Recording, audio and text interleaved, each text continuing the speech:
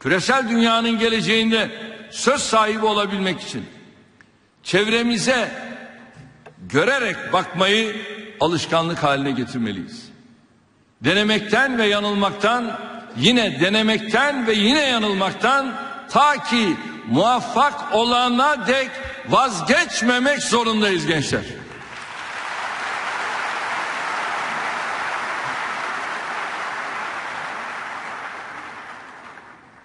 Üstadın dediği gibi tohum saç. Bitmezse toprak utansın. Hedefe varmayan mızrak utansın. Sizden beklentim bize ait ve dünya ile entegre hizmetler ve ürünler üretmeniz, dış ticaretimizi artırarak diğer ülkelerle güçlü ekonomik ilişkiler kurmanız, istihdamı genişletmenizdir. Değerli arkadaşlar, Türkiye geçtiğimiz 14 yılda elde ettiği başarılarla yenilikçiliğin faydalarını görmüş, bu lezzeti tatmış bir ülkedir. Buna karşılık son 3 yılımız yenilikçilik yolunda harcamamız gereken zamanı ve enerjiyi farklı konulara yöneltmeye zorlandığımız bir dönem oldu. Faizlerden vadelere, dış ticaretten yatırımlara, milli gelirden ticarete kadar her alanda Cumhuriyet tarihinin en yüksek seviyesine ulaştığımız 2013-2014 yılları aynı zamanda istikrar ve güven ortamımıza yönelik en büyük saldırıların da başladığı dönemdir. Şundan emin olunuz. Türkiye şayet gezi olaylarını FETÖ'nün 17-25 Aralık Emniyet Yargı ve 15 Temmuz silahlı darbe girişimlerini PKK ve DAEŞ örgütlerinin kanlı eylemlerini yaşamamış olsaydı bugün çok başka bir noktada bulunacaktı. 800 milyar doları aşan milli gelirimiz trilyon dolara dayanmış olacaktı. 410 milyar doları bulan dış ticaretimiz 600 milyar dolarlara yaklaşacaktı. Düşen petrol fiyatlarının etkisiyle dış ticaret açığımız azalacak, yatırım imkanlarımız artacaktı. Büyüme oranımız yüzde altı yedilerden aşağı düşmeyecekti. Faiz oranları biliyorsunuz 4,6'ya kadar düşmüştü. Yüzde üçlere gerileyecekti. Enflasyon bu rakamın da altına inecekti. Bu verilerin sağladığı güç ve imkanla Suriye ve Irak'ta çok daha etkin bir politika izleme imkanına sahip olacaktık. Fakat çok açık, çok kirli, çok sinsi bir dizi oyunla elimizi kolumuzu bağlamaya, bize diz çöktürmeye çalıştılar.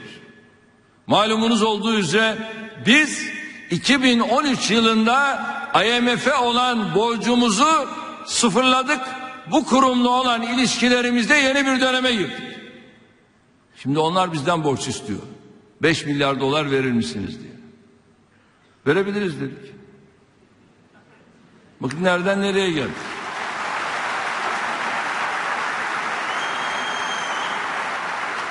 Göreve geldiğimizde bizim IMF borcumuz 22,5 milyar dolardı. Merkez Bankası'nın döviz rezervi 27,5 milyar dolardı.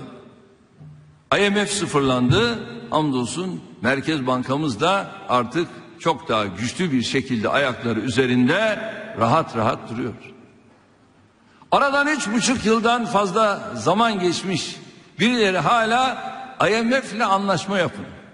Borç alın. Ekonomik ve siyasi bakımdan yeniden bu kurumun kontrolüne girin diye bas bas bağırabiliyor. Ha bunlar vatana ihanet ediyorlar.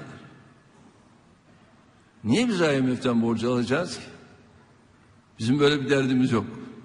Türkiye artık ayakları üzerinde duran bir ülkedir.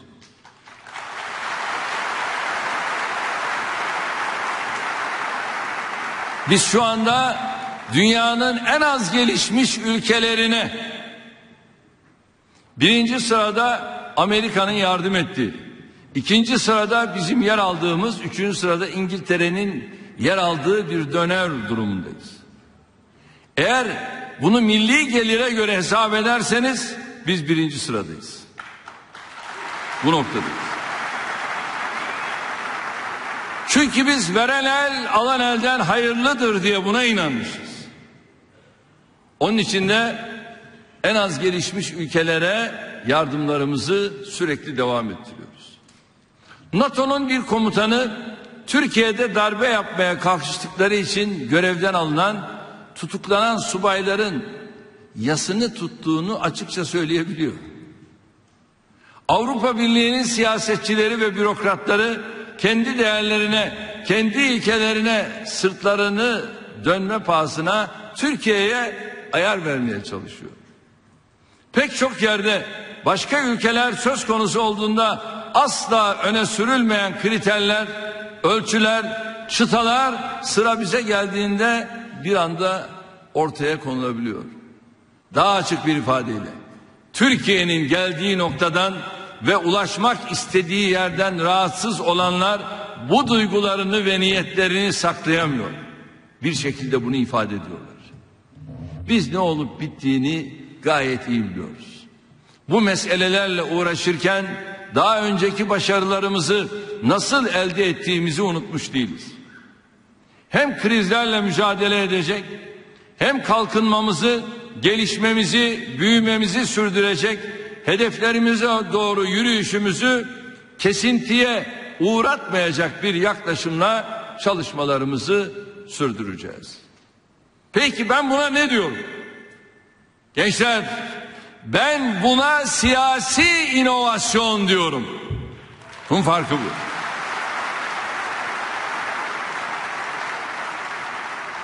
Milletimizle birlikte üstesinden gelemeyeceğimiz hiçbir meselemiz olmadığını geçtiğimiz 14 yılda defalarca ortaya koyduk. Komşumuz Avrupa Kalkınma Bankası ve çevresinden 400 milyar avro destek aldı. Düşünebiliyor musunuz? Ama biz hamdolsun böyle bir kapı çalmadık.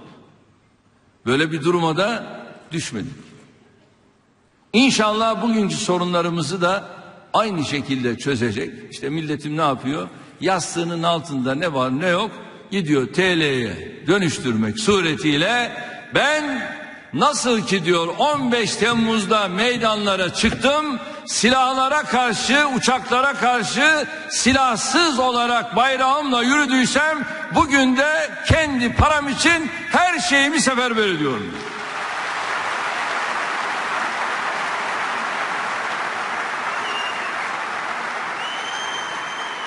Gençler bu millet büyük bir millet. Yürüyeceksin millet yürüyecek arkandan diyor ya şair. İşte yürüdüğün zaman millet arkandan yürür. Ve 2023 hedeflerimizden taviz vermeden yolumuza devam edeceğiz. Bütün engellemeleri yaptılar. Yavuz Sultan Selim köprümüzü açtık. Şimdi 20 Aralık'ta inşallah Marmaray'dan sonra Boğaz'ın altından Avrasya Tüneli'ni de açıyoruz.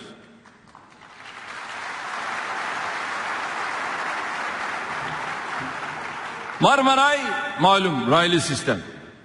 Neredeyse şurada 3-3,5 yıl içerisinde Marmaray'dan geçen yolcuların sayısı 2 milyona yaklaştı. Ne büyük iş görüyor görüyorsunuz. Orada sis mis geçerli değil. Şimdi Avrasya tüneli çift katlı oradan da otomobillerimizle rahatlıkla karşıdan karşıya geçeceğiz. Bu da İstanbul trafiğini ciddi manada inşallah rahatlatacak. Ve bütün bunlar engellemelere rağmen yapılıyor. Körfez geçişi işte bu sürede yapıldı. Şimdi inşallah 18 Mart'ta Çanakkale Köprüsü'nün temelini atıyoruz.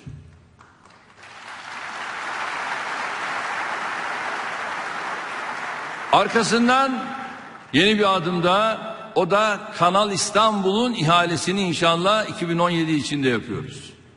Karadeniz'i Marmara'ya bağlayacağız. Kanal İstanbul'da. Ve bununla da kalmayacağız.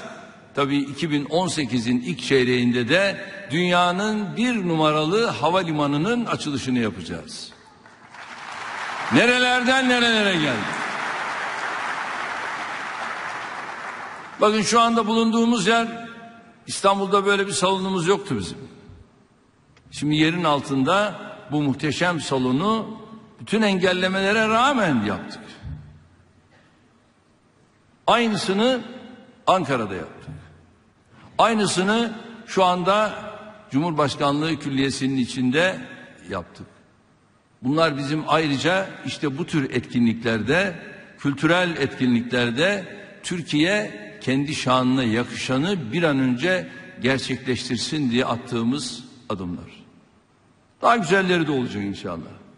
Türkiye şu anda sadece geleceğe bakıyor. Ama geçmişten şöyle ders alarak bunu yapıyor. Ben bu duygularla bir kez daha Türkiye İnovasyon Haftası'nın hayırlı olmasını diliyor. İnovalik ödüllerini kazananları tekrar tebrik ediyorum. Sizlere sevgilerimi, saygılarımı sunuyorum. Kalın sağlıcakla diyorum.